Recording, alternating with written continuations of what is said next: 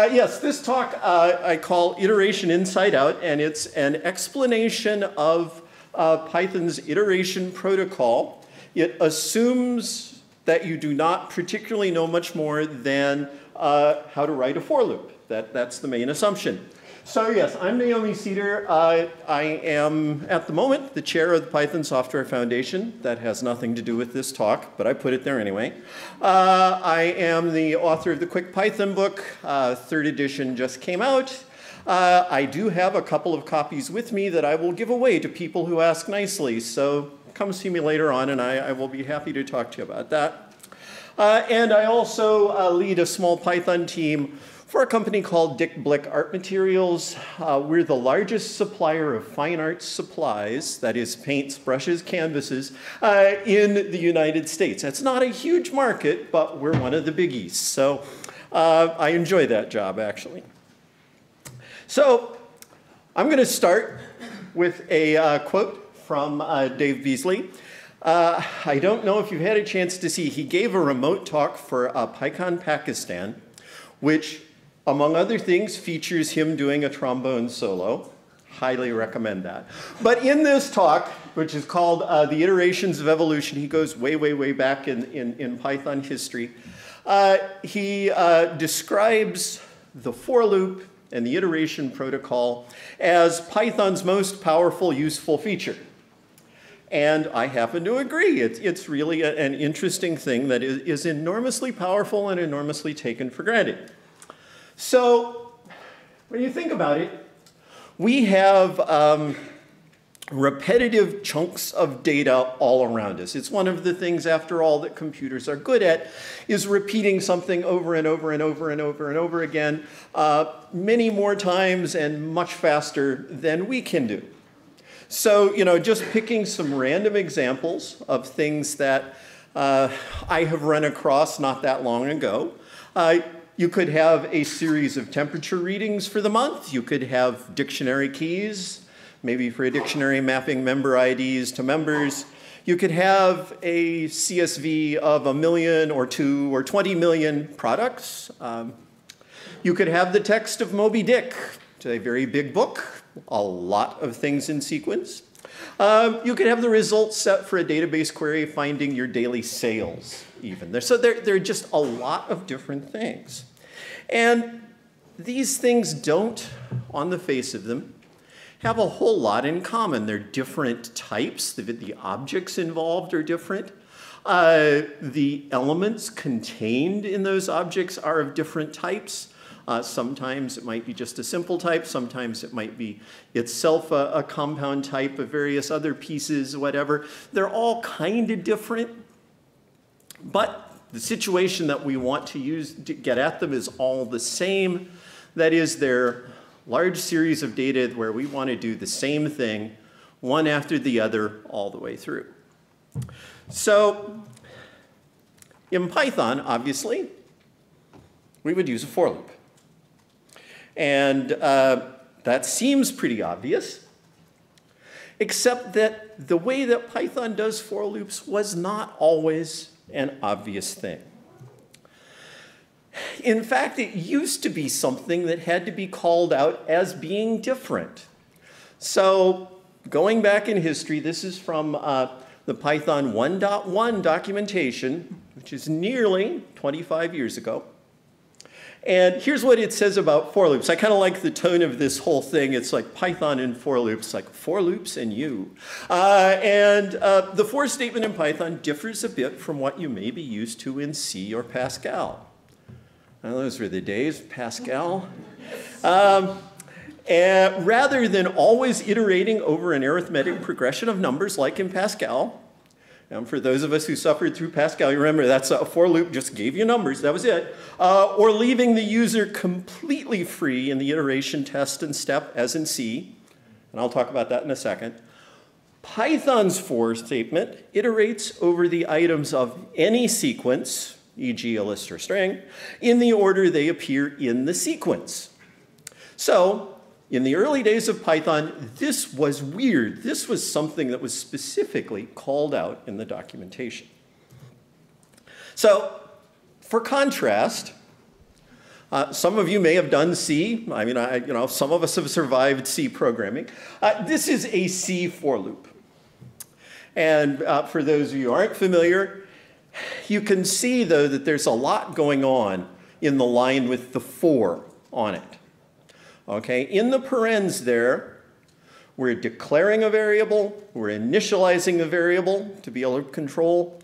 We have a condition for when the loop continues, and we are incrementing i, the loop control variable. That's all packaged in that for line.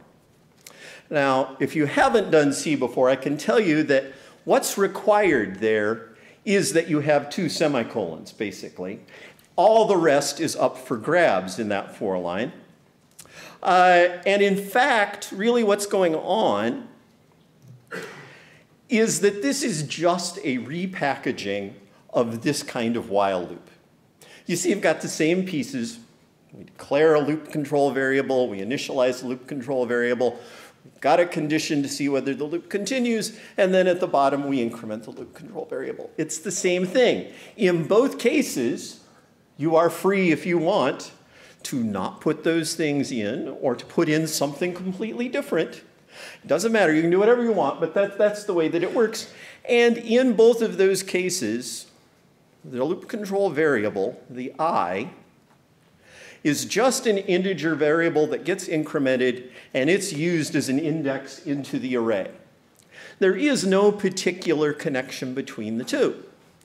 Uh, in fact, when you notice this is controlled by a variable called list.len, and of course I realize for, for C it's a little bit of an anachronism or a misnomer to even use the word list, but I, I put it in for uh, but that has to be determined completely separately. That has nothing intrinsically to do with the array.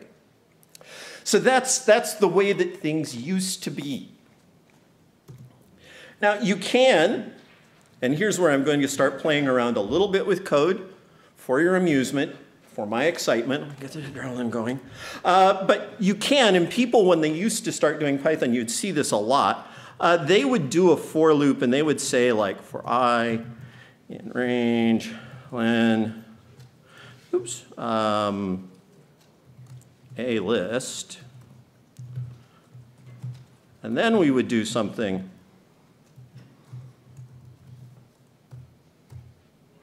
And that's kind of reproducing uh, what, what the C sort of loop would be. And as I say, you, people beginning Python coming from a language like C would do this a lot. I remember, I think I did it when I started. So, so that gets you the, the loop. It works.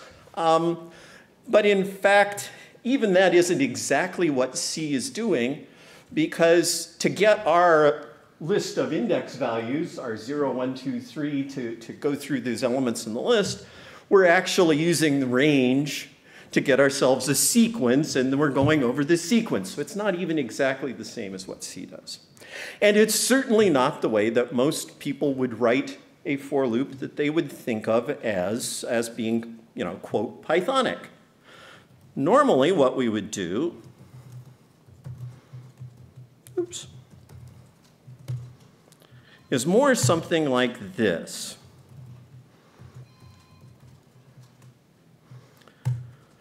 And that, you'll notice, throws away that whole going by index, and instead we're going by one item in a sequence. Okay, now this shouldn't be new to any of you. This is just kind of setting up our, our main premise here that Python's for loops, Python's iteration, is a somewhat different thing than a lot of the traditional things. I, I will say that these days there are many sort of newer languages that do sort of the same thing, or pretty much the same thing. A lot of the languages that didn't used to have something like this now do. Uh, even in C, they have some macro jickering that makes you come up with something that kind of sort of similar in a way. Uh, so there are lots of different options for doing this. But for a while, Python was pretty much one of the few that did things this way. And all of this kind of raises the question, how does it do that? So when we go back and we look at that example, let's just pop back there. How does that for loop know where it is? I mean, the whole key to a for loop is you go through in order one after another after another. So how does it know what's next? There's nothing in, in the for loop that we just did that really explicitly says that.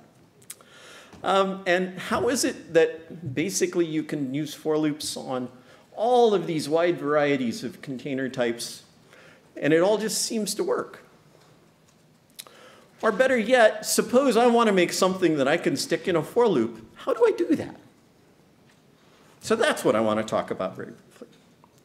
So key thing is for Python, uh, this whole iteration using for relies on a protocol, not on individual types. And this has been the case uh, since Python 2.2.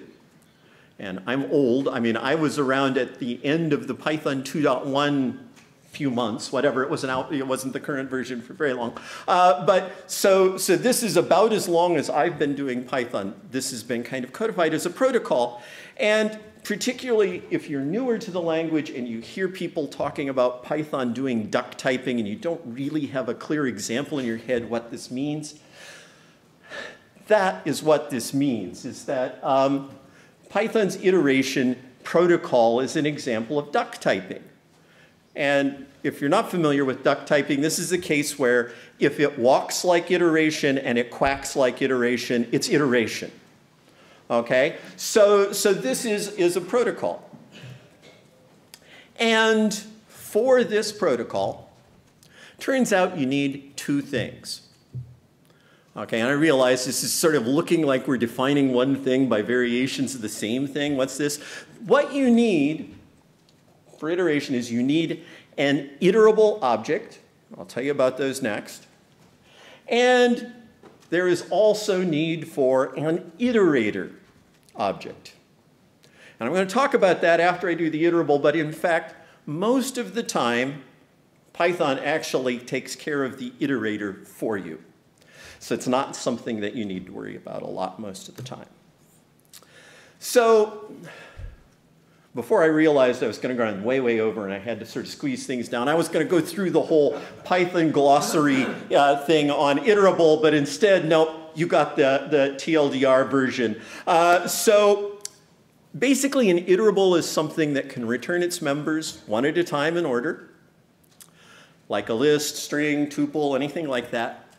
Or it, so, and, and basically that means one of two things. It can be a class with a dunder iter method that returns an iterator, which again I haven't talked about yet, so put that on hold. Uh, or it can be any class that you make that has a dunder get item method that follows sequence semantics. And by that we mean you start at the beginning from zero and count up using integers to get to wherever you want to be in the sequence. So it's one of those two things. Can be both, but basically those are the two things.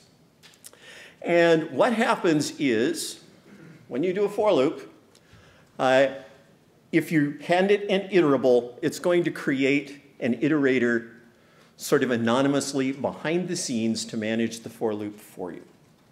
Okay, so that's why you almost never need to worry about it because it's done automatically. So again, to restate, uh, if you use the iter function, which is a built-in function, uh, on an object, in order for it to be an iterable, it needs to return an iterator. So it's either got a get item that we can use square brackets and an index to, or it's got an iter. So let's actually talk about doing that. Now, there are a couple of different ways that you can check to see if you've actually got an iterator. So you can look and see if it's got an iter method. So like if we've got a list, uh, I can check and see if my list has a, a, a property under iter. And since it's a list, it does. So you can check that. But that's only one of the possibilities. The other possibility is, does it have a get item that follows uh, sequence semantics? Well, you can check and see if it's got a get item, but it still might not be following sequence semantics. Dictionaries, for example, have get items, but they don't take integer indexes, so that wouldn't work. So that's a little bit trickier to decide. Basically, though, remember, we're programming Python. So we have the philosophy it's easier to ask for forgiveness than permission.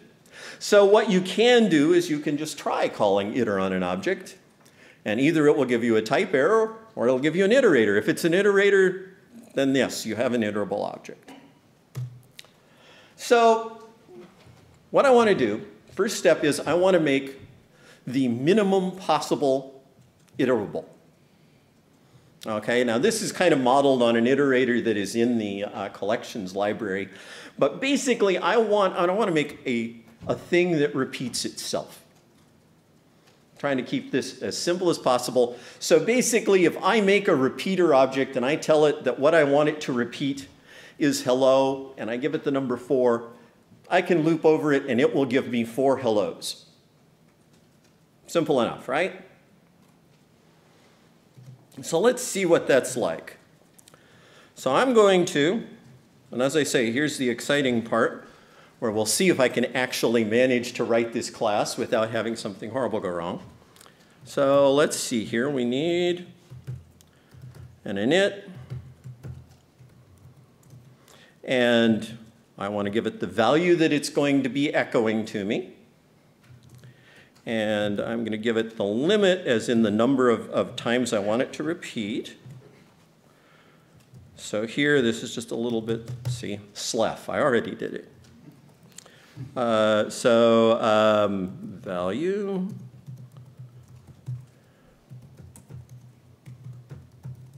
Uh, equals limit. Okay, that's good enough for my uh, init. Now the other part I needed was get item, right? So let's see what that might look like. Uh, self, and I'll um, call that index. Oh, thank you. That, that, that's very helpful. I know I did that when I was practicing, and it took me like two or three minutes to go back and figure out what I did. It kept saying, this is not an iterable. Yes, it is. No, it isn't. Uh, so yeah, so um, got that. Um, so here, we need to do something that will, will simulate, uh, you know, sort of satisfy sequence semantics. So I'm going to do um, we, we need to start from zero. If it's less than zero, this is really not going to work out well for us in this case. Um, and we don't want to go over our limit. Otherwise, why would we bother to set the limit there? So uh, if it's, if it's in, ah, thank you. That was the other thing I kept screwing up. Uh, I was just testing you. Uh, there we go. Okay. Um, so if that's the case, I'm going to return self.value. And what happens if we go over? It's the other question that's not quite solved. So what, what we do there is, oops, If, if you want, out of my four element repetition, you want item 99, I'm going to say that's not a good index, and I'm going to throw you an index error. Okay, so we got that. Uh, and um, yeah, I don't think we screwed that up. So, so we actually have then, this is a class for an iterable. At least I'm saying that. Let's see if it actually is. So I'm going to make an instance of my repeater class here. I want it to say hello four times. Uh, and uh, then I want to see if it, um, if it actually does have a uh, dunder dunder iter method. Okay? It doesn't because I didn't define one. Okay, fair enough. Does it have a get item with sequence semantics? Well, we could mess around with that a little bit, but I think basically the easiest thing to do is just to see if I can get something from index zero. And I do. So, okay, so we've got something that kind of looks like a sequence object. Let's see how that actually goes. So, can I get an iterator from it? This is sort of the real test. If I can't get an iterator from it, then this whole talk is over, right? So uh, maybe that's a hint. I don't know. But let's see. Oops. So yeah, you can get an iterator from it. Now remember, what I got there was really pretty simple. Uh, so if it's an iterator, it should work in a for loop, right?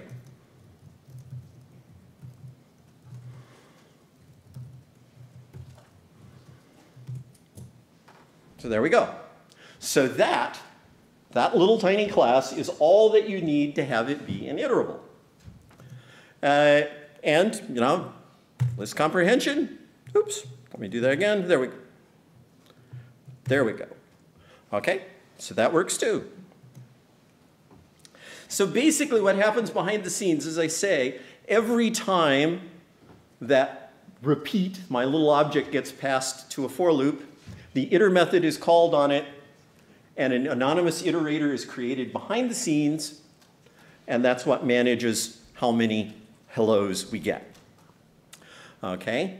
Um, and when you get to that point where you're off the end of your object, when you hit that index that's one too far, uh, the iterator knows to pick up the index error uh, and stops the iteration.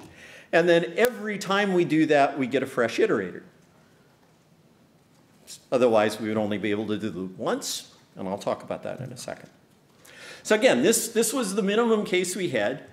The get item was the bit that we actually needed to make an iterable.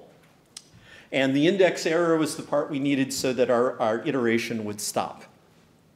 You can, for amusement, and I've done this before, I don't recommend doing it very often though, you can leave off that part and just have it go forever. Uh, one hopes you have some other uh, strategy for getting out of the loop then, uh, short of turning off your computer and walking away in disgust. At least that's why you had to do it in the, in the bad old days. Uh, so, so that's it. It's really very easy to make an iterable. But that's kind of just taken that question we raised at the beginning and just kind of kicked it on down the road. It hasn't really answered how does it know which item is next? Because clearly the iterator is just responding to, or the iterable, excuse me, is just responding to being given an index and it feeds back an item. It doesn't know what's next. The loop itself doesn't seem to know what's next. The loop doesn't even care what you're giving it as long as it follows the protocol. So it's the iterator part that is actually keeping track of what's next. And anything that does that for us is an iterator. And the key thing for an iterator is that it has a dunder next method. Or for reasons that I've never really managed to make up a good explanation for, in Python 2.x, it's just next without the dunder. I don't know why that happened. Uh, but um, Obviously, it seemed like a good idea at the time, but uh, it's, um, it's got a next that gives you the items in turn. So that's what an iterator is. It's one of these things that will manage where you are in the sequence and keep on giving you the next. When you get to the end, it doesn't raise an index error like our iterable did. Instead, it raises a stop iteration exception that it knows means no more loop. Um, and if you keep trying with that same iterator, it'll keep on telling you stop iteration. It's over. Basically, iterators are one-use objects. You, you can make one that wouldn't be that you, but this is the way that they work. The other thing that an iterator needs is it needs a dunder iter method. And that dunder iter method returns the object itself which means that all iterators can be used as iterables. So um, it's like, huh? Uh, we'll, we'll talk a little bit about this in a second. Uh, the thing with, uh, with iterators, though, again, is one use and done. They don't magically refresh. You can't reuse the same iterator. You're always going to get a new object. So I want to do the same thing, but I want to do it with an iterator now so that you can see how that works. So let's back up here. we need to do two things. We need to have a next, and we need to have uh, a, a dunder iter method. So again, let's sort of do this.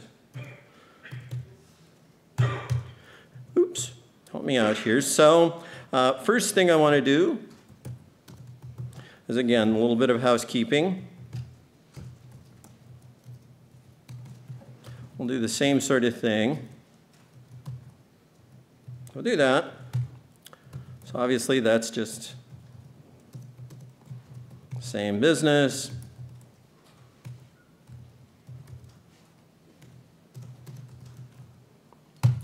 Uh, and we want to do one more thing because we're going to actually need to keep track of where we are in this sequence. So I'm going to call it count. And I'm going to start counting how many objects we've iterated at zero. So I'm, I'm just kind of setting this up as part of my dunder init. Um, so then, what was the next thing we needed? Audience participation. Next. Well, or either, whichever, but yes, uh, uh, next is more fun, so we'll do that one. Okay.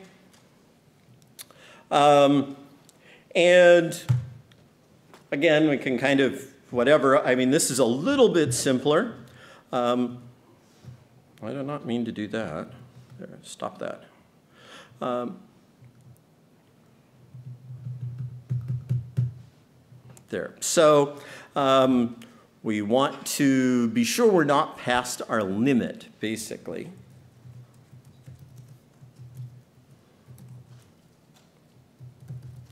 So if we're still in the iteration business, remember we started count at zero, but we don't want to go past our limit. So if we're still able to do that, uh, we kind of need to do two things.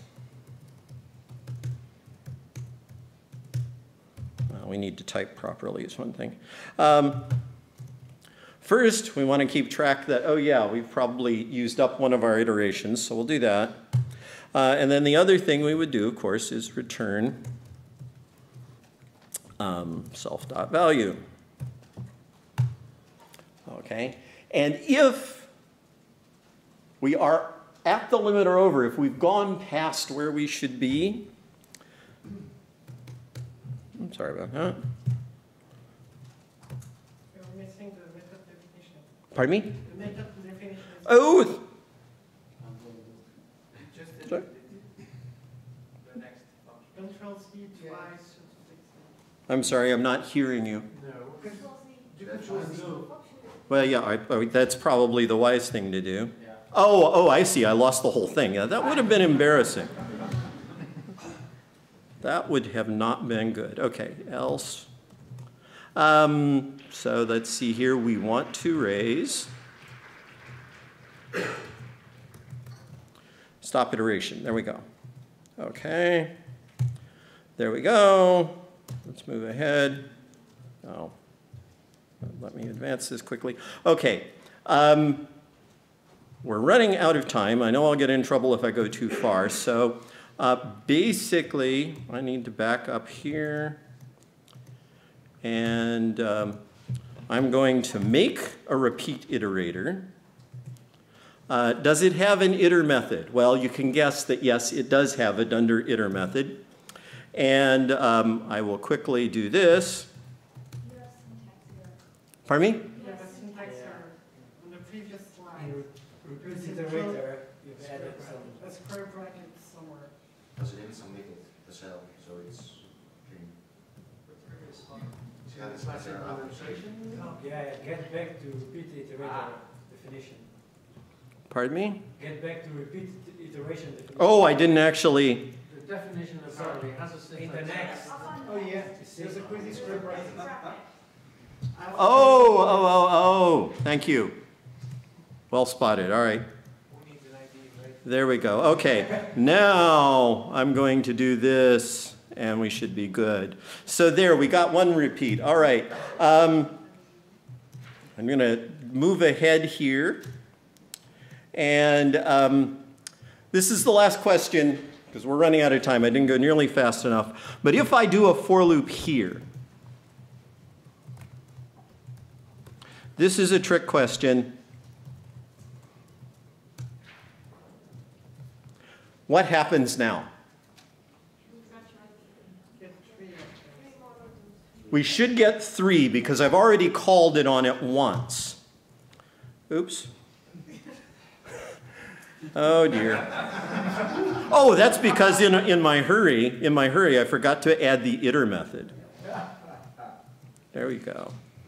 So yeah, we're, we're running out of time, so I clearly mistimed this.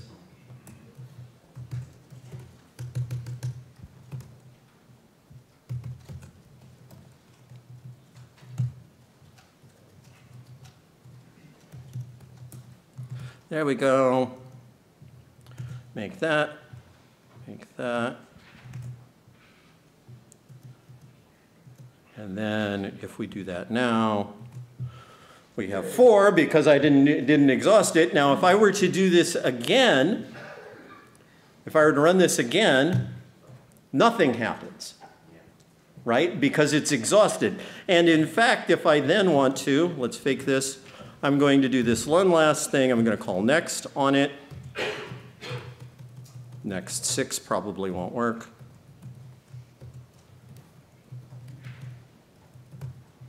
What happens now? Right. So for those of you who know, yes, you get a stop iteration thing. It's only when you call next that you're going to see that. So in any case, this is a little bit uh, beyond so what I was going to do, but the slides are there, and I will post them, and you can look at the Jupyter Notebook, and you can contact me. And thank you very much for your time. Thank you. Yes.